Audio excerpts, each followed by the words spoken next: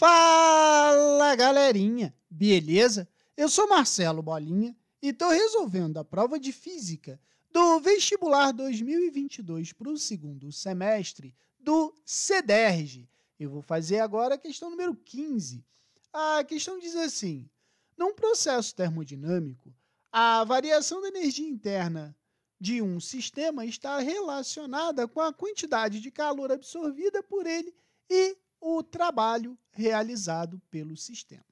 Nessa, numa compressão isobárica de um gás ideal, então, é, o, o início do texto ele disse o seguinte, que a variação da energia interna ela está relacionada com a quantidade de calor e pelo trabalho realizado pelo sistema. O que, que ele quis dizer?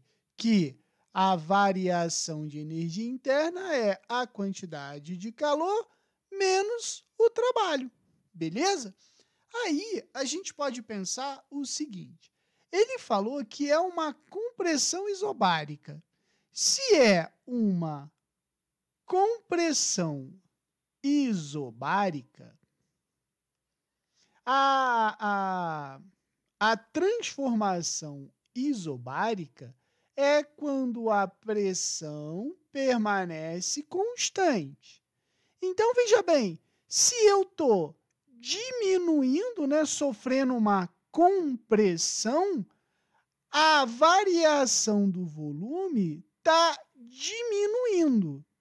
Né? Então, pensa assim, é, na compressão isobárica, pensando em termos de um gráfico, né, ó, aqui é pressão, aqui é. Como a pressão é constante, né? Ó, eu sei que P é igual a P0, então eu poderia ter aqui dois, é, dois estados diferentes. Por exemplo, o estado A e o estado B.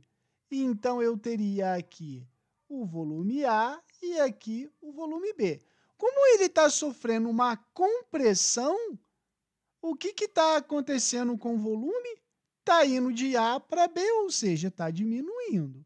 Como a gente sabe que trabalho é igual a pressão vezes a variação de volume, eu posso dizer que se eu diminuo o volume, eu diminuo o trabalho.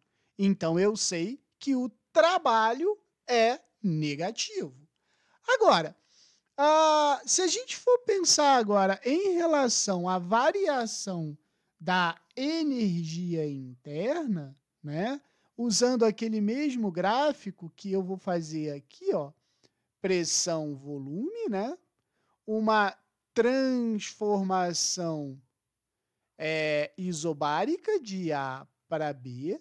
A gente tem que lembrar o seguinte, ó, aqui PA é igual a PB, esse aqui é o VB e esse aqui é o VA.